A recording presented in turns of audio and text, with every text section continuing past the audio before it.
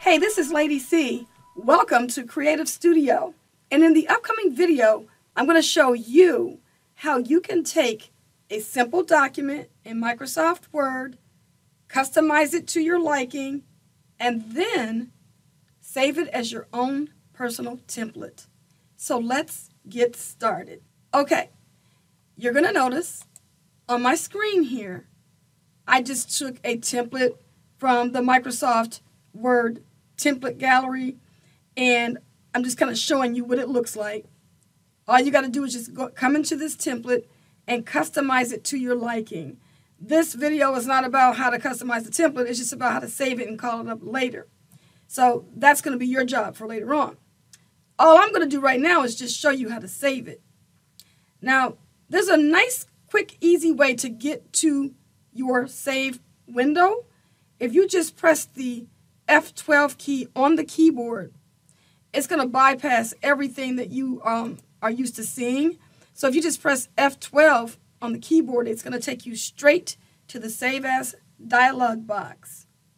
Now, what we need to do is we need to tell the computer what type of file format to put this in. I'm going to go down to the Save As type, and I'm looking for Word template. So just come down to Word Template, click on that, and it's going to take you into the Documents Custom Office Templates folder. We'll talk about that later, but right now, we just want to save this file. So we're going to name it Business Letter. Not only that, but I would like to create a folder for this business letter. So I'm going to choose New Folder at the top of the window, top left-hand corner. Click on that. And when the new folder window appears, I'm going to name it Business Letter Template. Maybe I put plural. Business Letter Templates. And then hit the Enter key. Then I need to double click on the folder to open it. And now it's safe for me to choose Save. So I go ahead and choose Save. Okay, so once you're done filling out this letter and customizing it to your liking, you can just go ahead and close out of the file. I'm just going to press Control W and it's going to close me out of that file and then it's going to just bring me to a blank window in Microsoft Word. And this time, just to show you how to call this up later, all you have to do is go to File, and then go to New. File, New. And the reason why we're doing File, New is because that's how you bring up Microsoft Word's templates. Notice how we're on the Office tab right here. But right next to it is Personal. The Office tab is where you can go get pre-built Microsoft templates. But on the personal tab, this is where you're going to be saving your templates. So I'm going to choose personal. And now notice what you see here. You're going to see the business letter template folder that I just created.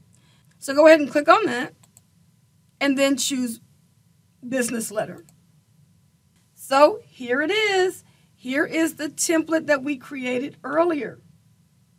So see how easy it is to open up a document, customize it to your liking, save it as a template, and when you're ready to reuse the template, you just simply choose File, New, go to the Personal tab, locate your template, and you're set. No fuss, no mess. Okay? Very simple. Now let's talk about how you can go find it on your Windows machine in Windows 10. Okay? What I'm going to do is I'm going to press Window E on the keyboard. Window E simply opens up my Windows Explorer window. And now I'm going to go to Documents, Custom Office Templates, Business Letter Templates is the one we just created, and there is our letter. So see how easy that is? So all you have to do for repetition is replay this video to get some practice on how you can create your own templates. It's easy as one, two, three. Well, this has been Lady C. I hope you enjoyed these tips. So be sure to hit that like button and I'll see you on the next video.